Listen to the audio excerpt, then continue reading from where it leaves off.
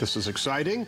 619, the St. Madeleine Sophie Center is celebrating the winter season with its holiday art gallery. Ali Wagner is live in El Cajon taking a look at wings and snow. Sounds so festive, Ali. Good morning. Well, and look at how festive, Lauren. Like, this is so gorgeous. They've got all kinds of cool mosaics that are going on from stars to angels to trees, and it's just a lot of fun. And, and I have Deborah, who is here this morning with us.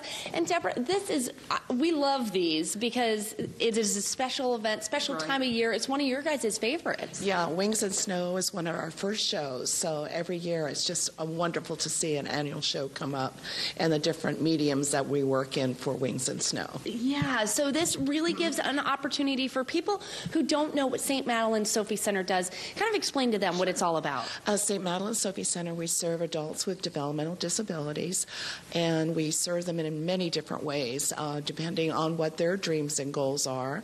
A lot of students like to be artists, and so we give them that different mediums in the art department, uh, including weaving, jewelry, fusion glass, painting, and just a variety of different things. And right now we're doing mosaics with the angels and the trees. And then on campus, we have a six acre camp offer a lot of different things an organic garden, junior Olympic pool, and a kitchen.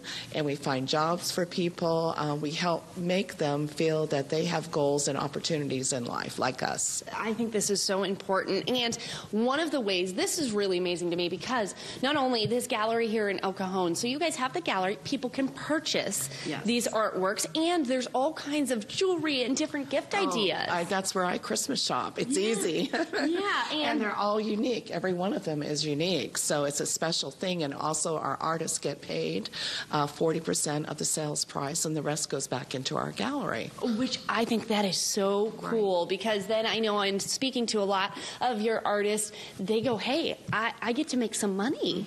Exactly, and that helps them buy Christmas presents too, Yeah.